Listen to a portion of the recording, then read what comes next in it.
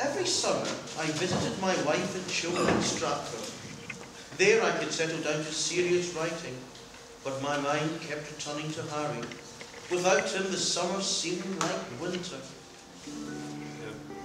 How like a winter hath my absence been from thee, the pleasure of the fleeting year. What freezings I have felt, what dark seen, what old December's bareness everywhere. Pleasures wait on me, and thou away, the very birds are mute. Or if they sing, sing, 'tis with so dull a cheer that leaves look pale, dreading the winter's Only near. die. But if that flower with base infection meet, Rough trade. the basest weed outbraves his dignity. Mind you, I was no angel myself. Did you or didn't you? My own little course was to a sonnet. Alas, 'tis true, I have gone here and there and made myself a motley to the view, gored mine own thoughts and sold cheap what is most dear, made old offences of affections new.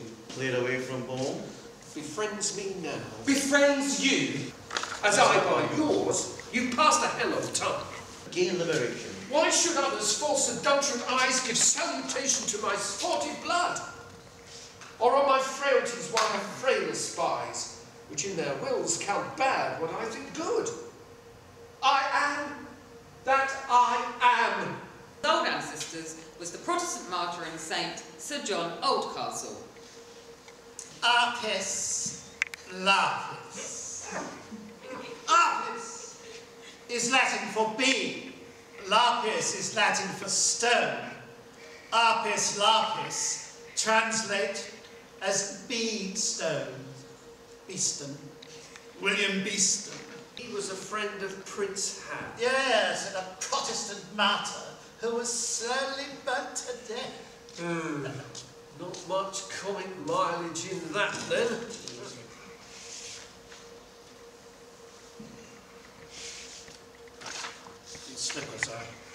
Not mine. They were my son's, Horatio's. My son. What is a son? And what a lost word is considered true. Oh, but my Horatio grew out of reach of those insatiable humors. He loved his loving parents. He was my comfort and his mother's joy. The very arm that did hold up our house. And circles round him. Waning grown, and therein showest thy lover's withering, as thy sweet self growest. From his heart did flow. Oh, that sad breath from his spongy lungs bestowed. Oh, all that borrowed motion, seeming owed,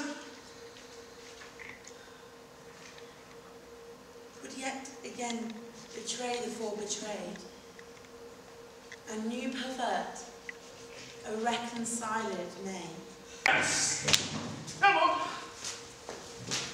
Can we get him on here? Some Tricky one, but I'll give it a go. Angels! The clapometer is a box with a dial in front. Looking up. Zia! Paul! Kevin! Dave! Can I ask you a great favour?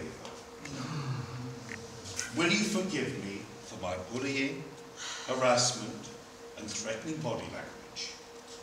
Of course we will.